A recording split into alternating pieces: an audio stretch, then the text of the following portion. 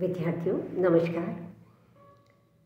आज मैं जिस साज के बारे में आपको बताने जा रही हूँ, उसे कहते हैं सितार।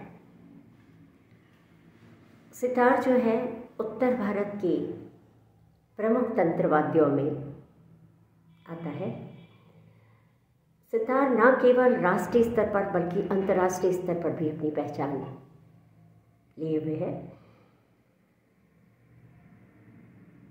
ये बहुत ही मीठा सुरीला साज है। इसको के बारे में आप देखिए कि जो इसका, ये मुख्यतः दो भाग है।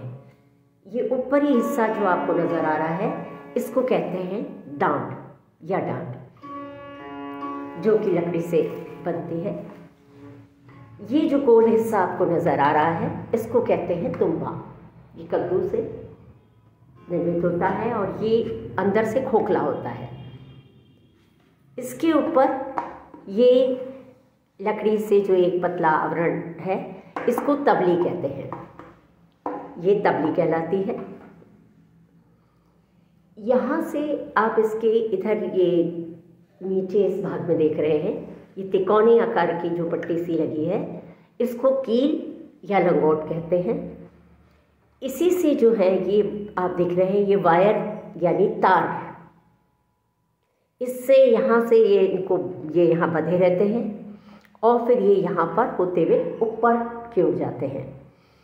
ये जो आपको चौकी नुमा दिख रही हैं दो, ये कहलाती है ब्रिज या घुड़ज ये ऊपर के तारों के लिए है, बड़ी वाली, और ये जो है नीचे के तारों के लिए। प्रयुक्त होती है। ये आपको जो मोती और ये नज़र आ रहे हैं, इसे कहते हैं मन का अब देखिए, ये जो है, इस तरह से ये जो है इसमें, ये तार है। अब ये तार यहाँ जाके, इस तरह से जाके, यहाँ पर आप देखिए कि ये दो आपको हाथी दांत की बनी हुई ये दो चीज़ें दिख रही हैं। इसको कहते हैं अटी। यानी इसमें तार अटकता है। यहाँ से इसमें फंसा के इसको यहाँ से जाता है और ये कहलाता है तार गह यानी इसके अंदर से होता हुआ तार जाके, आगे जाके ये ये खूटियाँ हैं। ये जो आपको नज़र आ रही हैं, ये खूटियाँ हैं। ये आपको जो इस तरह के नज़र आ रहे हैं इसमें बधे हुए, इनको कहते हैं पर्दे। और इंग्लिश में इनको फ्रेड्स कहा जाता है। इनका नाम, पुराना नाम सुंदरी और सारिका, ये भी इनको कहा जाता था। देखिए, सितार में मुख्यतः जो है, वो जो ऊपर जो आप ये दिख रहे हैं, ये सात तार प्रमुख तार होते हैं, जिसमें कि पहला तार, ये जो पहला तार है, ये बाज का तार कहलाता है। बाज का तार जो है, ये सबसे प्रमुख तार होता है। सारा जो वादन होता है, मुख्य इसी तार पे होता है। तो ये बाज का तार है। बीच में ये दो तार जो होते हैं, ये जोड़ी के तार कहलाते हैं। यानी ये बाज का तार, ये सबसे पहले बाज, फिर दो तार जो होते हैं, ये जोड़ी का तार कहलाते हैं। उसके बाद दो तार आते हैं, ये पंचम के तार आते हैं। ये जो दो तार आपको दिख रहे हैं, ये एक बड़ी चिकारी और एक ये छोटी चिकारी। ये। ये इस तरह से प्रयोग में लाते हैं। तो ये मुख्य तार जो है, वो है इसकी तारों की संख्या है सात। इधर भी आपको ये छोटा, छोटी ब्रिज या चौकी दिख, जैसी दिखाई दे रही है। ये जो है, ये तार होते हैं। ये जो हमारी सबसे छोटी उंगली यानी कनिष्ठिका होती है, इसके नाखून से इसको छेड़ा जाता है। यानी जिस राग, जो भी राग हम बजाते हैं, उन राग के स्वरों में इसको मिलाया जाता है। ये कहलाते हैं तरब के तार जिनका मुख्य उद्देश्य गूंज उत्पन्न करना। और इनको छेड़ते ही ये पता चल जाता है कि ये जिस राग में मिले होते हैं तो राग आप तुरंत पहचान सकते हैं। जैसे अभी ये मैंने छेड़ा तो ये जो है राग यमन में मिला हुआ है। तो इस तरह से ये मेन तार हैं, ये आपके तरफ़ के तार कहलाते हैं। जब ज़्यादा अंतर रहता है स्वरों में तो उसको खूटियों से कसना और उतारना चढ़ाना पड़ता है, यानी तार को उतारा और चढ़ाया जाता है। जब रा, जब सितार में का जो सूक्ष्म अंतर रहता है, जैसे स्वरों में हम देखते हैं कि बहुत थोड़ा सा अंतर है तो उसको जो है, इस मन के, की सहायता से ठीक किया जाता है कि यदि स्वर उतर रहा है तो उसको थोड़ा चढ़ा दिया जाएगा।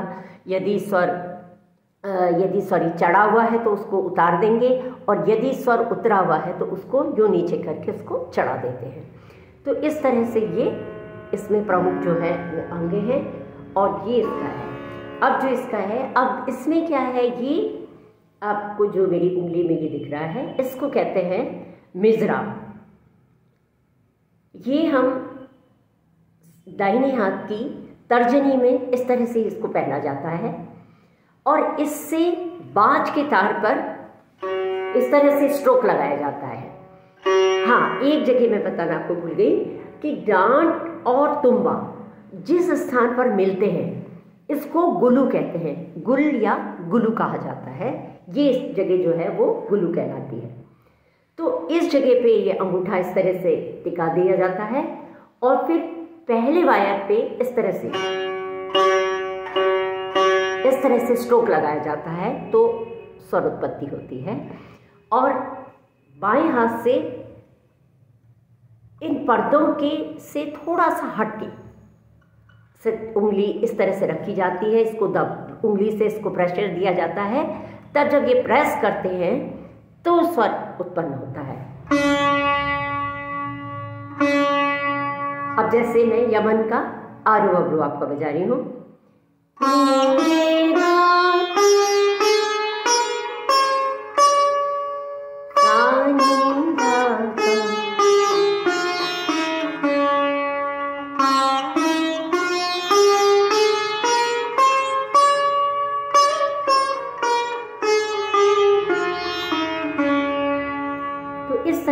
इसका वादन जो है, होता है। और मुख्यतः इसमें दो स्ट्रोक जो है, वो प्रधान रहते हैं। यानी दा, जब तार को अंदर की तरफ़ खींचते हैं तो दा कहलाता है स्ट्रोक। और जब बाहर इस तरह से करते हैं तो उसको रा कहते हैं। यानी दा और रा। इसी के फिर अलग अलग वेरिएशंस होते जाते हैं। जब उसको तेज बजाते हैं तो धीर धीर धीर धीर कहते हैं। फिर उसमें अलग अलग कट उसके वज़न के हिसाब से दार दार, दिर दिर, दार दा इस तरह से उसके अलग अलग जो है, बोल जो है उसमें बसते हैं और तब उसमें जो है इस तरह से अलग उनका प्रयोग किया जाता है। पर मुख्यतः जो वो बोल है वो दा और रा ही, यानी दो बोल होते हैं, दा और रा। तो इस तरह से ये सितार की बनावट है और इसको बजाने का इस तरीके का तरीका ये है। Thank you